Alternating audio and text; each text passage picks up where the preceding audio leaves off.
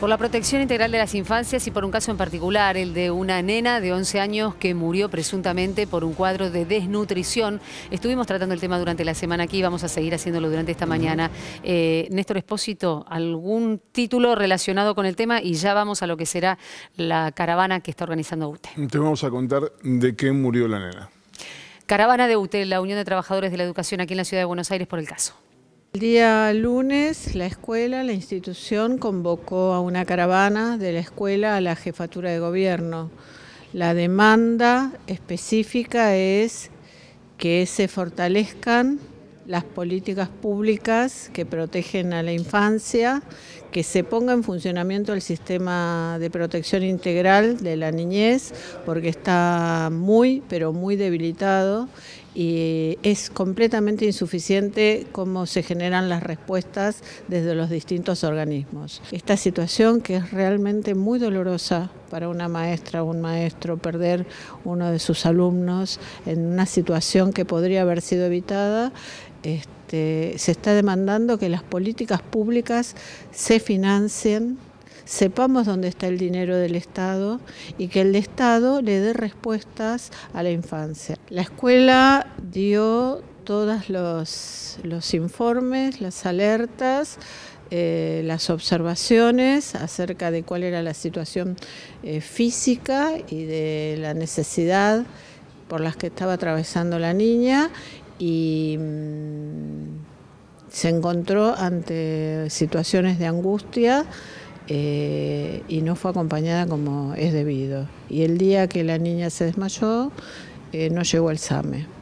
Entonces, eh, la pregunta es, bueno, gobernantes, Rodríguez Larreta, de respuestas al sistema de protección integral de derechos, al financiamiento de la educación, que implica los comedores escolares, que implica tener los equipos interdisciplinarios en la escuela y que implica que cuando hay una directora que tiene una necesidad no tiene que mandar un trámite, un correo electrónico ni un expediente electrónico, sino que alguien la atienda por el teléfono y le diga lo que tiene que hacer y a dónde pedir y a dónde pedir ayuda.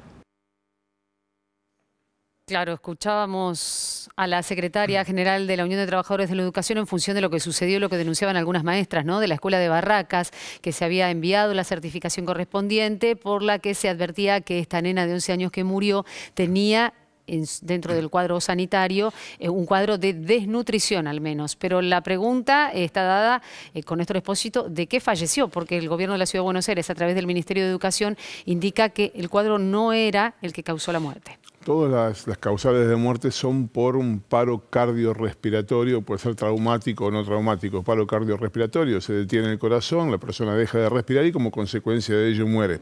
La autopsia lo que trata de determinar es por qué se paró el corazón y dejó de respirar. En este caso en particular, el, informe habla de una eh, neumopatía bilateral, es decir, algo que afectó a los dos pulmones.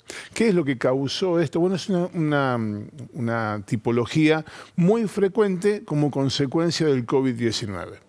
Ahora, aquí no había COVID-19, de manera tal que lo que están haciendo con los exámenes histopatológicos adicionales es buscar qué fue lo que pasó con esos pulmones que colapsaron y causaron la muerte. Claro, la justicia debería determinar si ese cuadro finalmente formal de, de causa de muerte puede o no estar relacionado con una situación de malnutrición o desnutrición. Y a eso vamos con lo que dice la autopsia, los informes preliminares, porque faltan los adicionales que son los que van a completar el cuadro.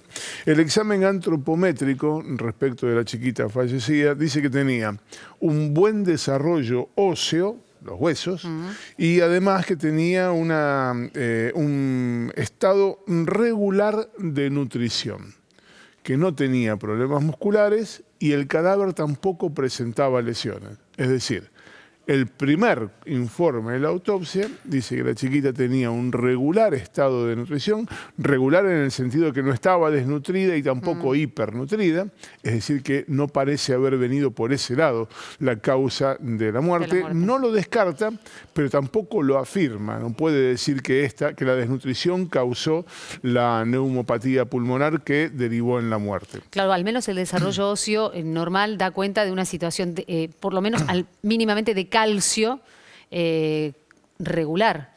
En función de lo que implica el desarrollo de los huesos relacionado con la nutrición y el muscular, por lo que dice la, autopsia que nos acabas de leer vos también. No es un caso típico, de una persona que estuviera mm, eh, visiblemente o evidentemente desnutrida. Eso es lo que dice el informe de la autopsia, que desvincula en esta primera parte la causal final de la muerte, que, es lo que generó esa eh, dolencia pulmonar que terminó en la muerte, todavía no se sabe. Lo que señalaban las docentes que, estuvieron con, la chiquita durante los últimos cinco o seis años, ayer hablábamos con una de ellas, es que eh, la vianda reciben en la escuela, que eran, según nos confirmó en el día de ayer, tres galletitas y un vaso de leche.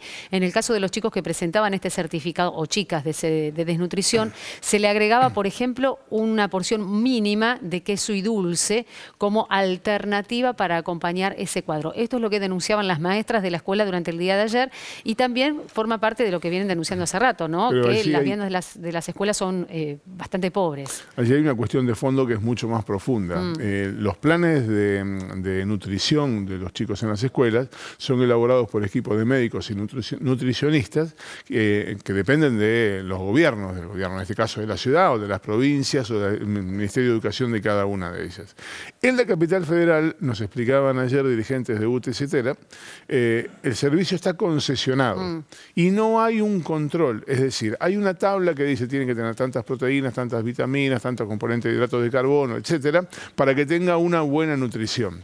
Eso es lo que dice el contrato de concesión. Ahora, nadie controla qué es lo que comen los chicos y ayer nos decían estos dirigentes que por lo general la vianda consiste, la vianda de lo que sería el almuerzo, consiste en un sándwich de una rodaja de queso, una rodaja de fiambre y dos panes y una barrita de cereal o una manzana. Es, está claramente eh, contraindicado para una adecuada nutrición, sobre todo para chicos de corta edad que están formando no solo su personalidad, sino también su contextura física. Comentábamos ayer que legisladores en la ciudad de Buenos Aires están reclamando desde hace rato la posibilidad de rever este contrato, entre otras cosas, justamente por lo que acabas de señalar y por lo que nos costaba la docente ayer, que es un sistema concesionado desde hace mucho tiempo que hasta ahora no ha tenido revisiones. Estaría bueno poder hablar con alguno de los legisladores, creo que es Ofelia Fernández, una de las que impulsa eh, con mayor vehemencia la posibilidad de rever el tema viandas escolares.